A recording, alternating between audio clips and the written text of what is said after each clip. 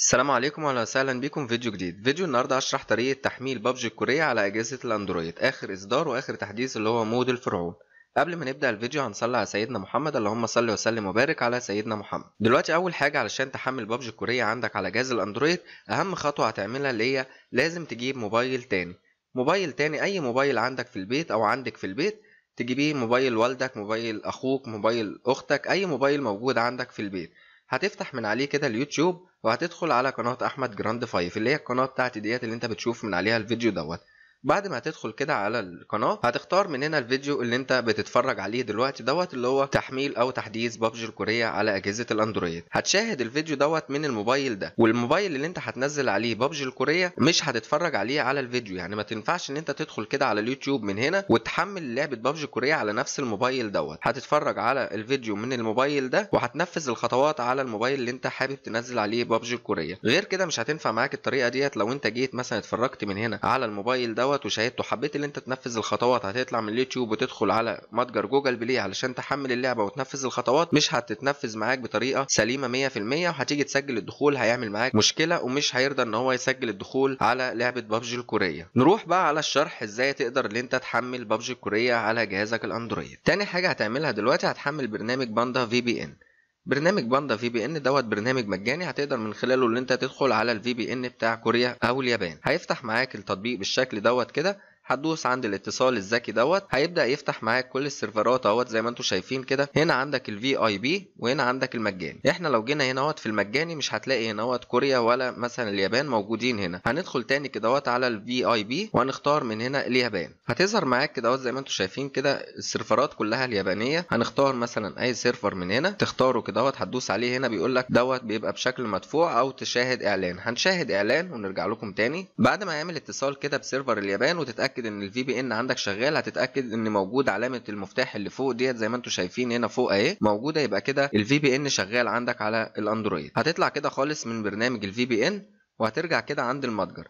هتدوس دوسة طويلة كده على المتجر وهتجيب علامة ال i دي شايفينها اللي ظاهرة فوق ديت هتدوس عليها دوسة هيحولك كده على إعدادات المتجر من جوه الهاتف هتختار مكان التخزين كده وتعمل مسح البيانات. تعمل حذف لجميع البيانات اللي موجودة على متجر جوجل بلاي وبعد كده هترجع تاني وتفتح متجر جوجل بلاي. بعد ما يفتح معاك المتجر كده هتلاقي صورة فوق هنا أهوت أو حرف زي ما أنتم شايفين فوق على الشمال فوق أهيت هتدوس عليها دوسة كده هتظهر لك القايمة ديت. هتدوس على سهم تحت الصغير دوت هيظهر لك كل الحسابات أو الإيميلات اللي موجودة عندك على جهازك الأندرويد دوت. هنختار إضافة حساب آخر. هيبدأ كده إن هو يفتح معاك صفحة جوجل اللي هي هتسجل بيها الدخول أو هتنشئ بيها حساب جوجل جديد. زي ما أنتم شايفين الصفحة فتحت معانا أهيت. هتدوس على إنشاء حساب. بعد كده هتدوس على لنفسي. هيبدأ إن هو تجيب لك ادخل الاسم. هتدخل هنا الاسم الأول. أي اسم أنت حابب تدخله. هندخل مثلا أحمد هنا اهوت وهنا هندخل جراند بعدين هندوس على التالي. بعد ما هتدوس على التالي هنا اهوت هيجيب لك معلومات تاريخ الميلاد. هتدخل هنا تاريخ الميلاد بتاعك بعد كده هتدوس على التالي. بعد ما هتدوس على التالي هنا بيجيب لك اقتراحات بإيميلات موجودة اهيت. جوجل هو اللي بيعرضها عليك. هتختار أي حاجة منهم. هنختار مثلا اللي تحت دوت وبعد كده هندوس على التالي. لو ما جابلكش الاختيارات ديت أو ما عرضش عليك إيميلات تختار منها إيميل. أنت هتكتب أي اسم كده اهوت بالإنجليزي. وهيبدأ إن هو يعرض لك حسابات زي ما أنتم شفتوا كده أهوت وتختار منهم واحد. بعد كده هتكتب هنا كلمة المرور. أي كلمة مرور أنت عايز تكتبها هتكتبها. تكون حروف وأرقام. وبعد كده هتدوس على التالي. بعد ما هتدوس على التالي هتظهر معاك الصفحة ديت. الصفحة ديت مهمة جدا. لو انت دوست على موافق هنا هيطلب منك رقم تليفون. لتأكيد الحساب دوت هنا رقم التليفون دوت لازم يكون بنفس ال server اللي انت ساحب منه أو ال IP اللي انت ساحب منه انت مثلا ساحب دلوقتي من كوريا. فلازم يكون الرقم دوت رقم كوري. أو مثلا لو انت ساحب من اليابان لا يبقى لازم الرقم دوت يكون ياباني. فاحنا طبعا ما معناش رقم ياباني أو كوري فهتدوس على تخطي. لو دوست على موافق هنا يبقى كده الحساب دوت مش هينفع ان أنت تحمل من عليه بابجي الكورية. بعد ما هتدوس على تخطي هيظهر لك دوت اسم الحساب أهوت اللي إحنا أنشأناه. بعد كده هتدوس على التالي بعد ما هتدوس على التالي هتظهر معاك صفحة الموافقة ديت هتدوس على موافقة. بعد كده هيبدأ يفتح معاك المتجر بشكل سليم. بعد ما يفتح كده معاك المتجر هتطير المتجر دوت خالص كده طير التطبيق بتاع جوجل بلاي هتطيره كده من الخلفية بعدين ترجع تفتحه تاني. علشان يفتح معانا على server كوريا أو مثلا اليابان. زي ما أنتم شايفين اهو اتفتح معانا هتدوس برضو على الاسم اللي فوق دوت أو الصورة اللي موجودة فوق دي هتدوس عليها. وهتدوس تاني على سهم تحت الصغير دوت هتختار الحساب اللي انت لسه أنشأته دلوقتي اللي هو أحمد جراند أهو لسه أنشأناه الحساب دوت هندوس عليه كده. بعد كده هندوس على قبول. هيبدأ كده يفتح لنا المتجر الكوري. زي ما أنتم شايفين حتى الإعلانات اللي جت فوق أهيت جاية باللغة الكورية أو باللغة اليابانية على حسب ال server اللي انت هتختاره في ال VPN بعد كده هندخل على ال search هنا من فوق وهنكتب فيه بابجي. هتظهر معانا اهيت بابجي موبايل مش هندوس على بابجي موبايل ديت هنعمل search على بابجي بس اللي إحنا كتبناها فوق ديت. هتظهر معانا أول واحدة اهيت بابجي الكورية اهيت.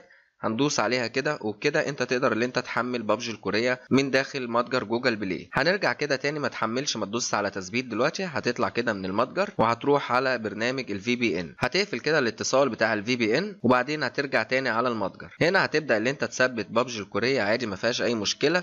وديت بآخر اصدار اهوت زي ما أنتم شايفين ديت أحدث حاجة اللي هي mode الفرعون.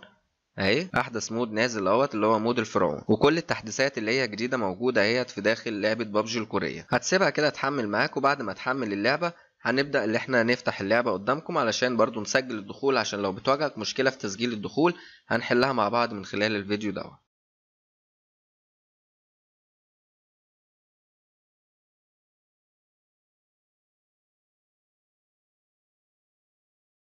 بعد انتهاء تحميل بابجي الكورية هندوس على تشغيل. هنبدأ كده اللي إحنا نشغل لعبة بابجي الكورية على جهاز الأندرويد. وهوريكم دلوقتي اللي انت تقدر ان انت تسجل الدخول عادي ما فيهاش مشكلة. ولو انت وقفت معاك في أي خطوة من الخطوات دي هتبعت لي في التعليقات وأنا هتابع معاك خطوة بخطوة لحد ما تنزل اللعبة عندك على جهازك الأندرويد. وكمان تسجل الدخول عليها وتبدأ ان انت تلعب باللعبة داخل جهاز الأندرويد. هندوس على سماح. وهتبدأ كده اللعبة ان هي تنزل معانا ما فيهاش أي مشكلة. هيبدأ ان هو يحمل موارد اللعبة. هنسيب التحميل دوت يتم للآخر لحد ما اللعبة تفتح معانا.